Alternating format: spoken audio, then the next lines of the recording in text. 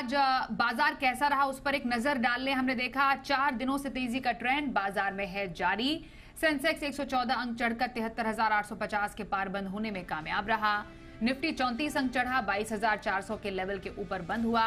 Bank Nifty 218 अंक चढ़कर 48,190 के करीब बंद होने में कामयाब रहा। बाज़ार में आज की बड़ी तेज़ी की वजह क्या रही बता रहे हैं कुशल गुप्ता।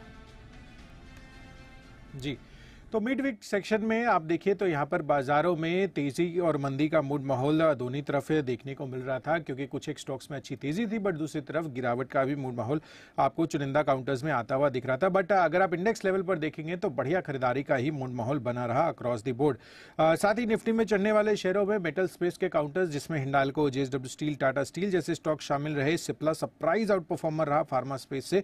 बट दूसरी तरफ़ गिरावट का कैंडिडेट टाटा कंज्यूमर्स बनते हुए दिखा पोस्ट नंबर्स अपने और ग्रासी सिम टेक महिंद्रा जैसे स्टॉक्स पर भी एक डेढ़ परसेंट तक की गिरावट थी।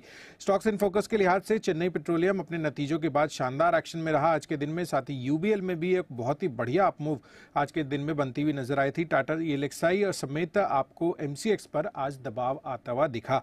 टॉप गेनर्स में एजिस लॉजिस्टिक्स एमआरपीएल और सेल यहाँ पर भी बढ़िया आउट परफॉर्मेंस थी और लिंडी इंडिया में भी अच्छी तेज़ी बनी। बट दूसरी तरफ़ वोडाफोन आइडिया होतामा की ट्रांसफॉर्मर्स एंड रेक्टिफायर्स जैसे स्टॉक्स पर आपको गिरावट का मूड माहौल लगा। तो यहाँ पर एक मिक्स्ड बैग सेशन था खासकर अगर आप छोटे बजौले शेयरों में देखेंगे तो काफ़ी ज़्यादा स्प्लिट जो था, वो आपको तेज़ी और मंदी के स्टॉक्स में देखने को मिला। आप कल हम वापस जब लौटेंगे बाजारों के लिए तो किस तरह से हमारे बाज़ार ओपन होते हैं एंड मोर इंपॉर्टेंटली कैसी क्लोजिंग रहती है, उस पर हमें फोकस रखना होगा।